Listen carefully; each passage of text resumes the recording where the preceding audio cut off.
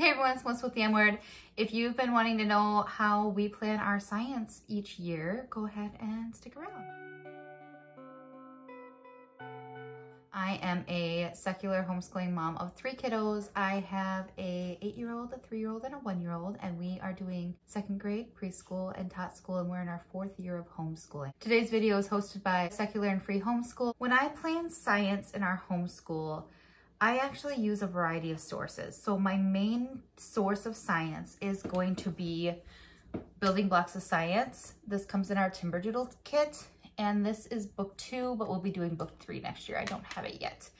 And I like Building Blocks of Science. I believe they say they're neutral. If I'm wrong, just plop it in the bottom in the thing below. I completely understand that the difference between secular homeschool is, or secular sources is that secular has no religious bias and I know that um, non-religious is, just avoids the issue entirely. However, unless the curriculum specifically tells me which one they are, I have a hard time telling the difference. So I apologize in advance if I am not giving you that answer because I can't quite tell the difference. My biggest thing is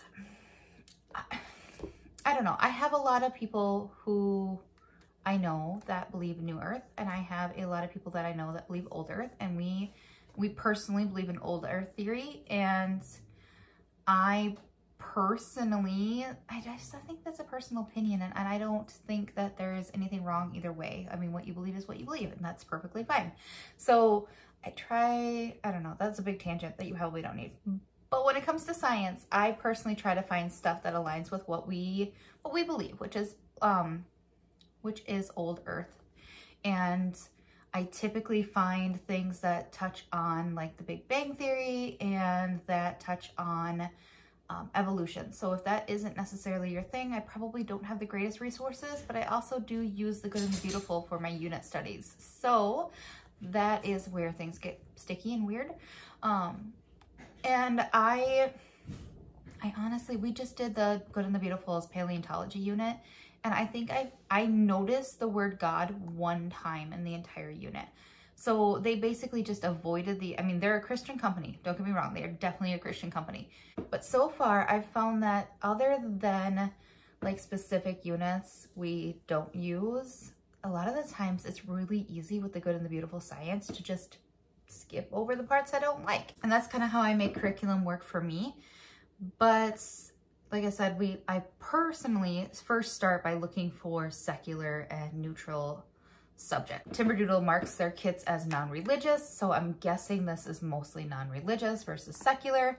And then Bookshark does say that they are secular, so whether they for sure are, I guess they've never mentioned God or anything about it, so my guess is they are definitely secular. We do use Bookshark. This is Bookshark level A, and we have been loving this. This this is more your typical science, like your biology science. Your right now my kids are going through, well, they went through ants.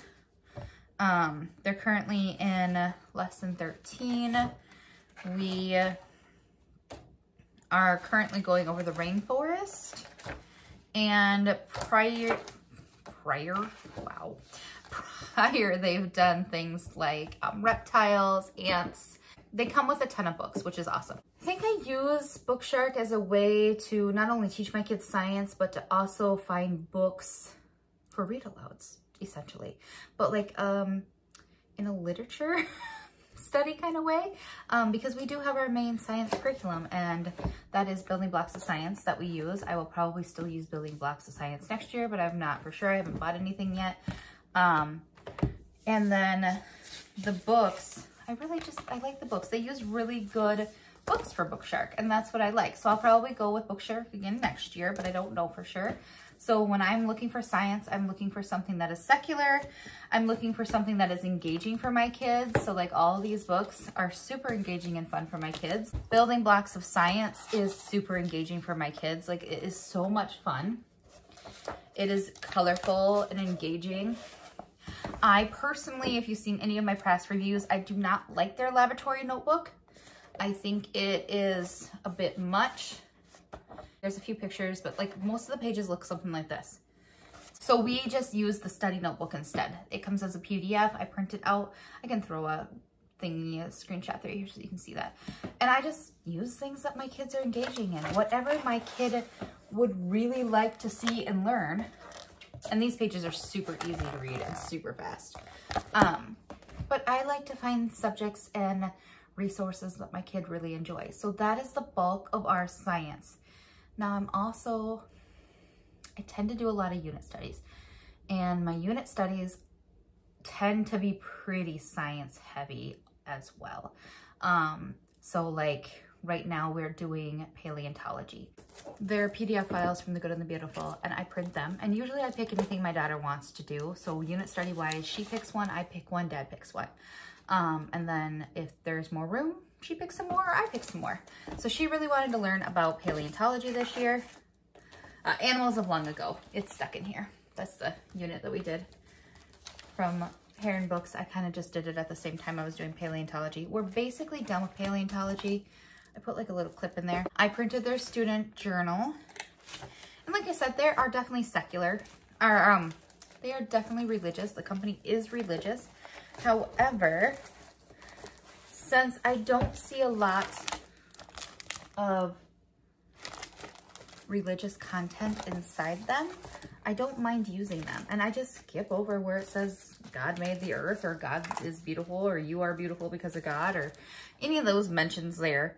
Um, I think I put it on my Instagram. So if you follow me on Instagram, I'll put my Instagram handle. It's just the M Word by Melissa. I stuck up there the day that I noticed that God was mentioned in the paleontology unit. If it didn't work for me, I just would have stopped using it. But my daughter really wanted to learn about dinosaurs and I wasn't finding a resource I liked that was engaging and colorful enough. And that is the thing about the good and the beautiful. They tend to be very colorful, very engaging units, which is why I keep using them for my unit studies. I usually draw out my unit studies. We usually do like one or two units a week and it'll take me three or four weeks to get through a three or four months to get through a good and the beautiful units or a unit study. So I think they're designed to actually go a little faster than that. But, and I also, you don't need to do this much for your kids. One of these would be perfectly fine. Like one subject, Bookshark or Building Blocks of Science or two or three unit studies. You don't need to do it all.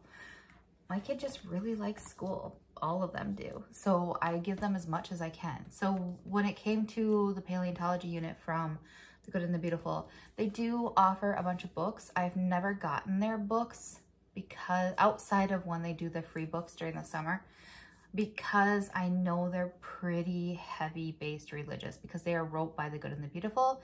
And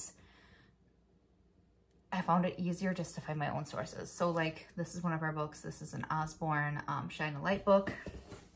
And we have the DK um, Big Book of Dinosaurs. And then as I was going through my history book, the um, Usborne Encyclopedia of World History that we use with our History Quest history, I happened to notice that there were like the rise of reptiles in here and some stuff about dinosaurs. So I, of course, showed this to my kids and then since I noticed that, I now pull this out a lot and double check that there's not anything in here that is relevant to our unit studies. What I'm looking for science in, for my family is finding something fun, something that I don't have to alter too much to avoid um, any religious information. My husband and I feel that our children should learn about as many other religions as they can and decide from themselves what they want to do or don't do.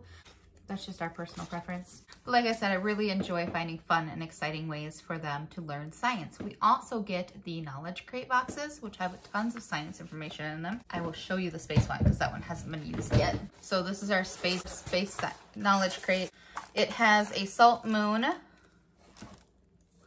and a solar system. Like it just, I like to find things that my kids find enjoyable.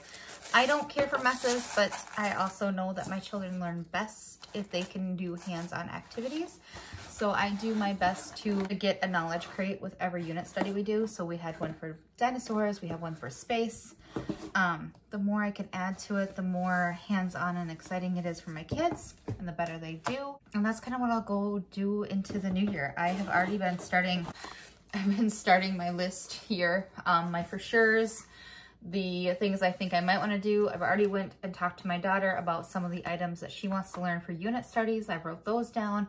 I wrote down all the dates for the sales and stuff. Um, I have some information on what I think we might want to do or like some question marks on things that we might not have time to do. Unless I find something better and more amazing, we usually stick with what works and what is fun for my kids because I don't want them to lose that level of learning regardless of whether or not it checks the perfect box in my mind. I would rather it check the box for my children and make sure that they keep learning and keep loving science and school in general. So if you have any questions for me, please leave them in the comments below. Don't forget to check out the playlist and I will talk to you next time.